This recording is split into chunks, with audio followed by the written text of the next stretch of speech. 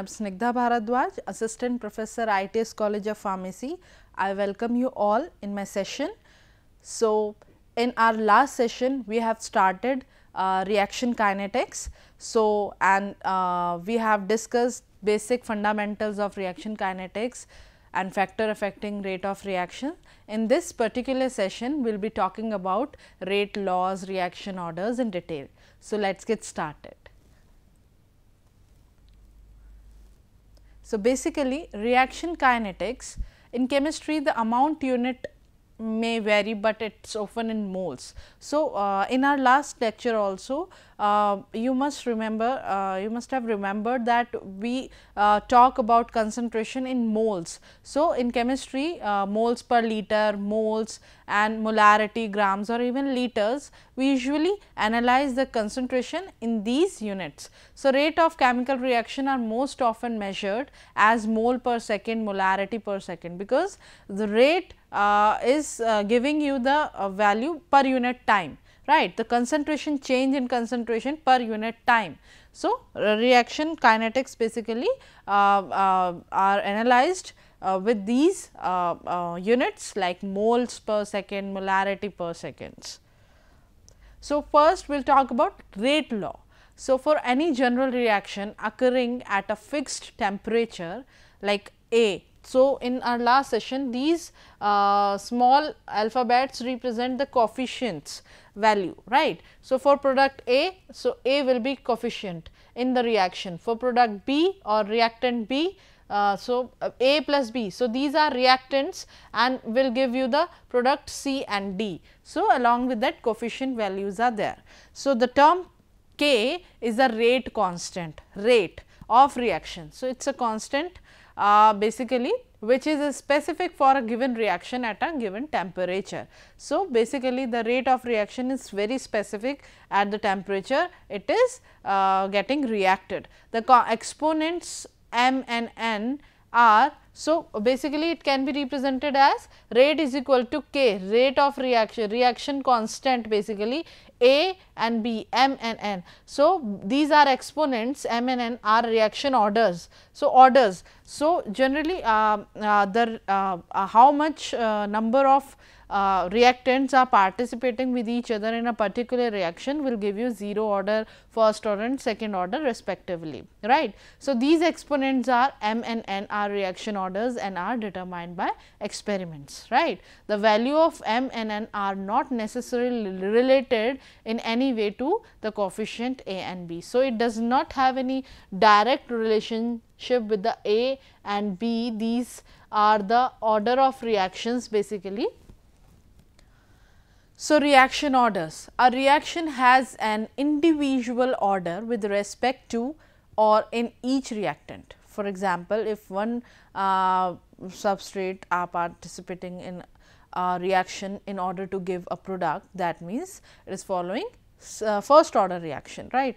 So, the uh, reactants concentration is independent to the rate of reaction or giving the product end product that is considered under 0 order kind of reactions. So, basically for the simplest reaction A will give the product. So, if the rate doubles when A doubles, the rate depends on A and the reaction is first order with respect to A. That means, the product uh, uh, uh, product uh, concentration is depending on the concentration of A will give you the first order reactions. If the rate uh, quadruplus when A doubles the rate depends on A uh, to the power 2 and the reaction is second order with respect to A. So, 2 times doubles the rate depends on the, uh, so if the rate when doubles the rate depends on and the reaction is considered to be uh, uh, second time, four uh, second order reaction. So, this representation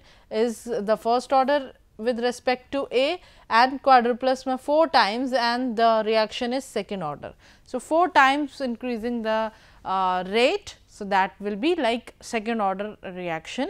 If the rate does not change when A doubles, right, the rate does not change uh, uh, along with its concentration that means the reaction is 0 order with respect to A.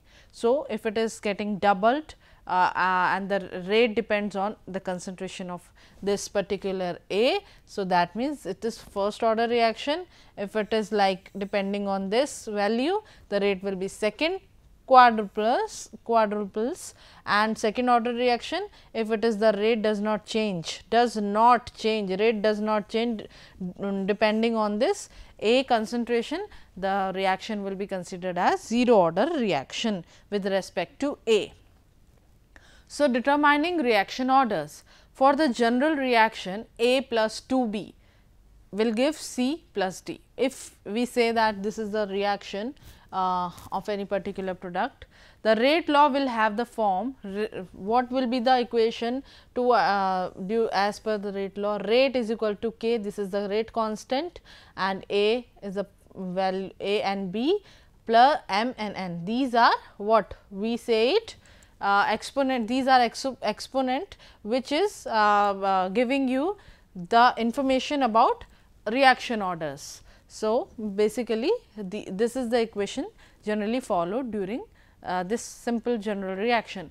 To determine the values of M and N, we run a series of experiment in which one reactant concentration changes while the other is kept constant and we measure the effect on initial rate in each case. So, generally to identify uh, the values of M and N that means specific reaction orders. So, we generally run a series of experiments to analyze uh, which type of reactant is uh, changing and which is kept constant under particular temperature or uh, we can say pH or any kind of particular specific conditions right. So, uh, uh, although we have uh, different different uh, uh, reaction conditions for different kind of substrates, but uh, how we can determine the reaction orders we generally run a series and now uh, we uh, observe how much reactants are participating in a particular reaction to get the desired product.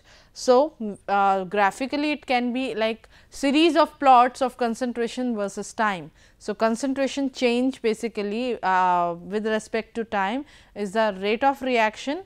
So, for identifying uh, the rate of reaction or order kinetic sorry order reaction orders we generally run a series of experiments initial rates and reaction orders and then rate constant and actual rate law. So, this is the hierarchy we follow for identifying. So, determine slope of tangent at t 0 for each plot. So, basically uh, we are taking that time and concentration.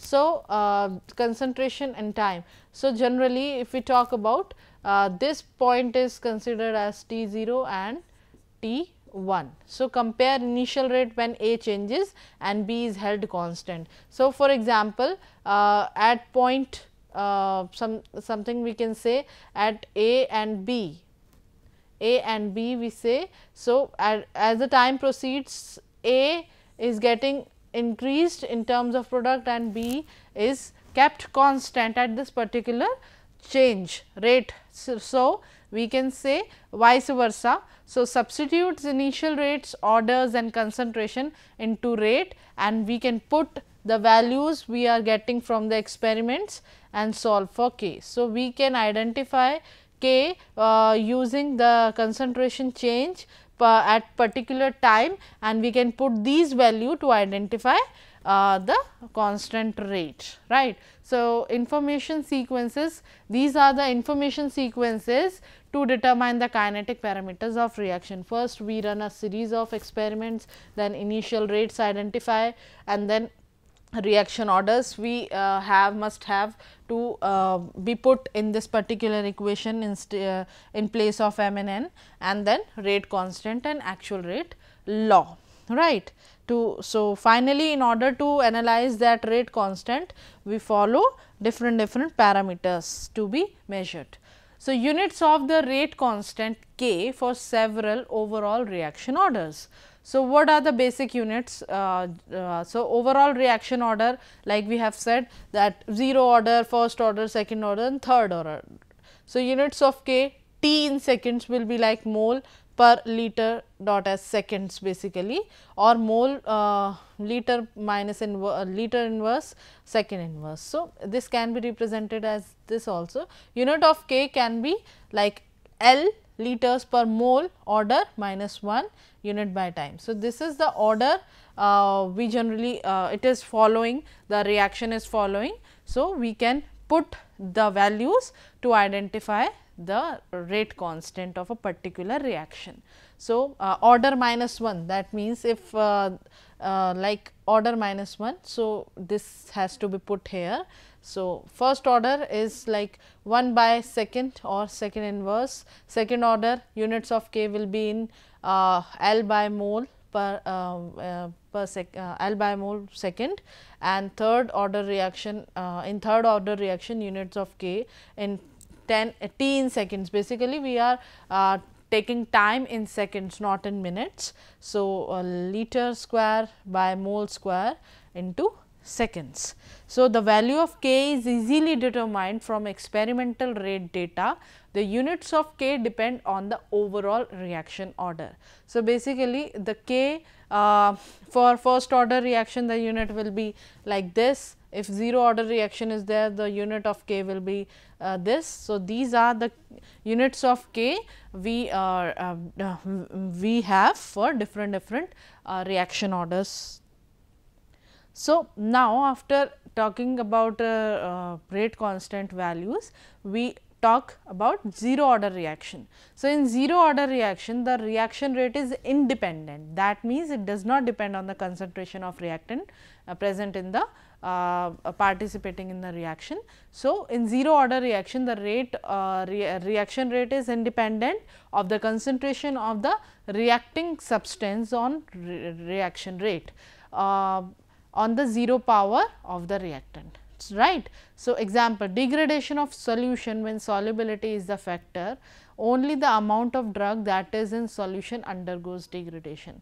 Basically, when we talk about the overall concentration, so uh, if we say that drug is getting degraded uh, in the solution form that means we are saying the solubilized type of uh, drug is getting degraded when present in uh, solubilized. The non-solubilized drug will not get uh, degraded.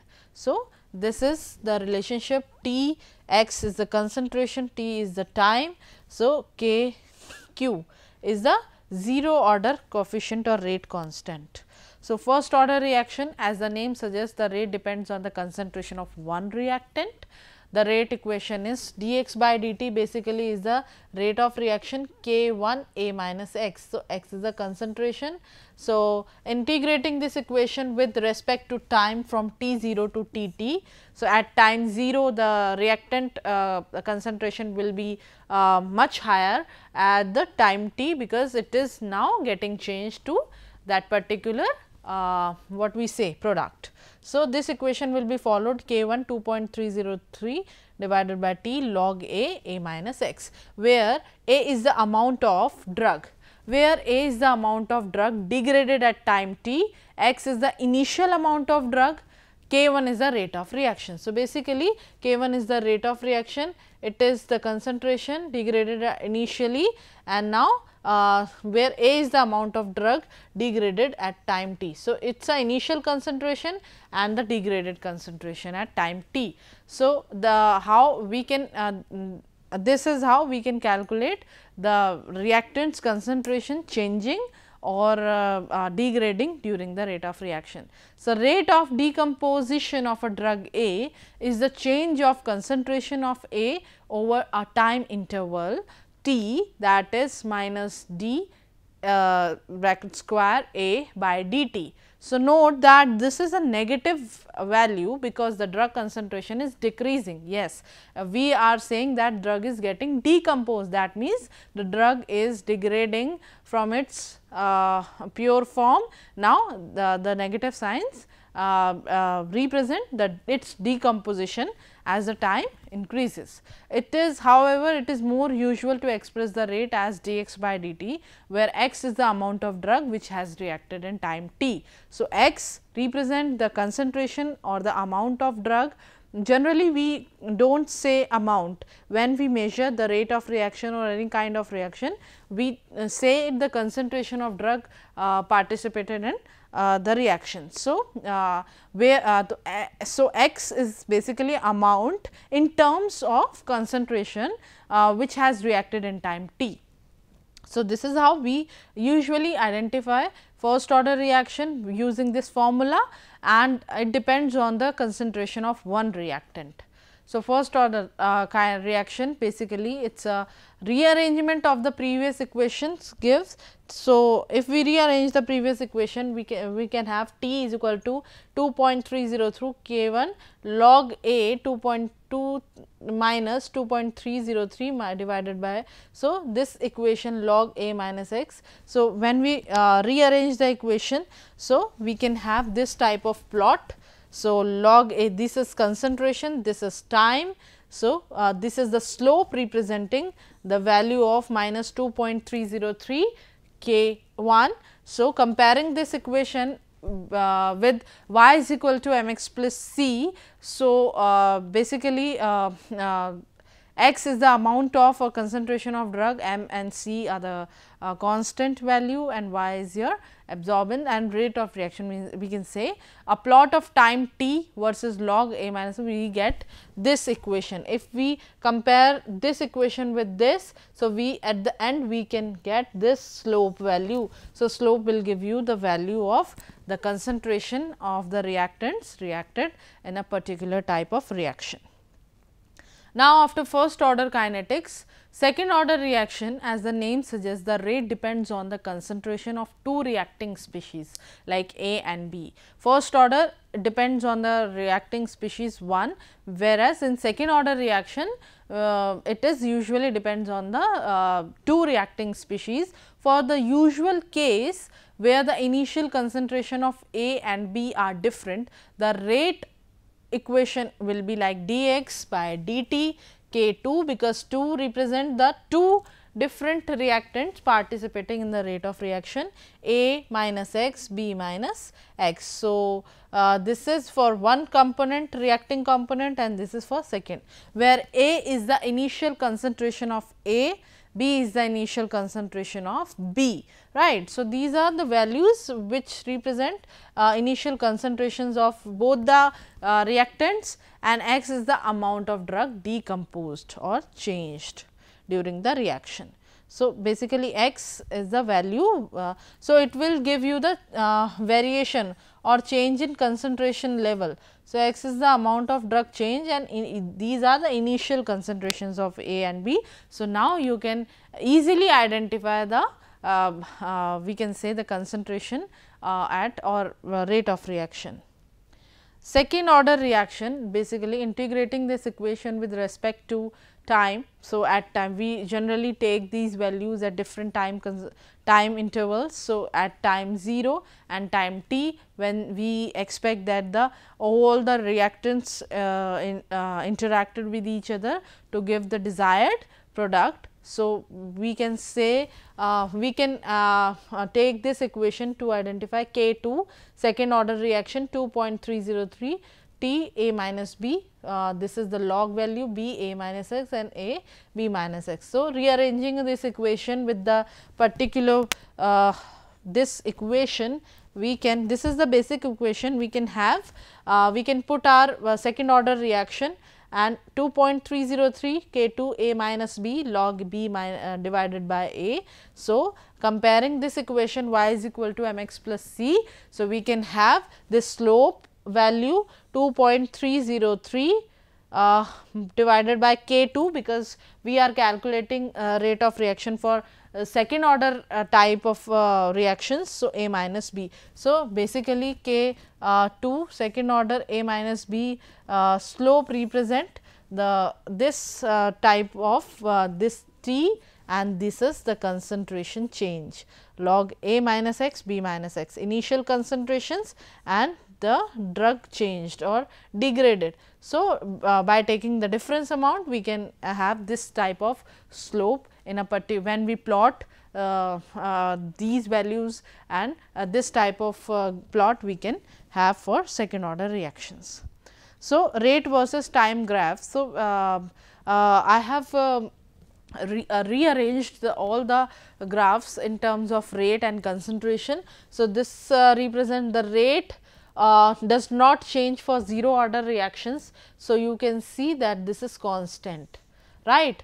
When we see that uh, when we talk about first order reaction, so rate basically depends on the concentration of one uh, uh, one component or reacting uh, species and in second order it depends on the two reacting species. So, we will get the uh, increased rate of reaction a curve line. So, uh, this represent concentration and rate. So, concentration does not have any effect on the rate of reaction in 0 order type basically first order and second order is a direct relationship. So, rate of reaction will be higher when the components uh, react with each other. So, concentration when we talk about time and concentration. So, uh, 0 order have the concentration this type of graph curve and first order this and second order also slightly curve. So, these are different different representations when we uh, do the experiment we will get this type of representation when while putting our experimental data to get the desired rate and concentration time profile curves. So, pseudo order order uh, 0 order reaction it is also uh, order. Uh, many drugs in the solid state decompose according to pseudo order rates as a reaction occur between the drug and moisture in the solid dosage form. So, pseudo order rate basically pseudo is a false we can say in general terms. So, pseudo order rates reaction occur between the drug and moisture in the solid dosage form. The system behaves as a suspension and because of uh, the presence of excess solid drug, the first order reaction becomes a pseudo order uh, pseudo 0 order rate and loss rate is linear with time. So, in some uh, cases uh, while uh, we identifying for uh, reaction rate for several dosage form. So, pseudo 0 order reaction occurs between the drug and the moisture in uh, some sort of formulation for example, suspension, solid dosage form. So, what we in the equation we follow R is a dCA by dt K1 CA in suspensions uh, of suspensions the concentration of D the aqueous phase remains constant that is saturated until the suspended drug particle are completely exhausted. Basically suspension in suspension the drug concentration the aqueous phase remains uh, constant that is saturated until the suspended particles are ex completely exhausted. So, during this uh, using this equation we can identify pseudo 0 order reaction kinetics. So, first uh, first order pseudo first order reaction kinetics uh, of pseudo first order reaction can be defined as a second order or bimolecular reaction that is made to behave like first order reaction. This happens when one reacting material is present in great excess or is maintained at constant concentration compared with the other substance. That means, if it one reacting uh, reactant is present in major proportion in the reaction and uh, uh, its uh, constant and maintain and constant concentration. That means uh, concentration is not gradually increasing with uh, as compared to other substance. In that case pseudo first order reaction generally uh, follows. Under such circumstances, the reaction does not exhibit a significant change in concentration because the um, concentration is kept constant during the reaction so, uh, during the degradative reaction. So, these uh, uh, these type of reaction generally follow pseudo first order reaction. Example hydrolysis of an ester, the drug that obeys pseudo first order kinetics is cefoxitam sodium. So, um, this is the example of pseudo first order reaction. Now, integrated laws. So, uh, uh, when uh, an integrated law includes time as a variable. So, these are the different uh, representation of equations. So, first order basically we use this equation rate minus delta A divided by delta T. So, these are the change in concentration and change in temperature. So, by simplifying these, so for second order we have this much uh, this type of equation and for 0 order we have this A uh, square bracket T minus A. So, at time 0 and at time T the uh, representation will be like this. So, graphical methods we say uh, when we uh, we although we have discussed earlier, but integrated uh, like log values. So, integrated log uh, so, slope will be like minus k uh, for first order time and integrated amount This is this also represent the concentration change for first uh, first order. This is for second order. The slope uh, is like uh, downwards for the first order reaction and this is the representation of uh, second order reaction integrated law as per integrated rate law and for this uh, 0 order at 0 order that A 0 represent the order type of a reaction. So, these are uh, integrated and now reaction half life. The half life For a reaction is the time taking for the concentration of reactant to drop half of its initial value. So, when uh, how much time uh, mm, reactant is taking to reduce its half to its initial value for first order reaction T half does not depend on a, a starting concentration. The formula will be T half is equal to integration to k and the uh, value will be 0.693 divided by k. The half life of uh, for a first order reaction is constant basically. So, radioactive decay is the first order process. The half life of a radioactive nucleus is useful indicator for its stability. So, generally half life first order uh, in first order type of reaction is constant half life equation uh, for second order it is like inversely t half 1 by k second order process k uh, the final value will be k uh, bracket a uh, square. So, uh, for a 0 order reaction T half is directly proportional to the initial concentration. So, this equation represents the half life for uh, second order reaction and this equation represents the half life for uh, 0 order. So, using these equation we can calculate different kind of uh, orders. So, basically an overview of 0 order, first order, simple second order reaction. Rate law will be like this representation units k, mole, second. So, uh, rate constant, half life can be presented. So, this table represents what we have discussed earlier uh, in the session. So, these are references. I hope you uh, understand all the basic uh, rate laws and reaction orders and uh, why they are important for identifying different kind of parameters in reaction kinetics. So, in uh, our next session we will be discussing uh, with the same topic till then take care and stay safe. Thank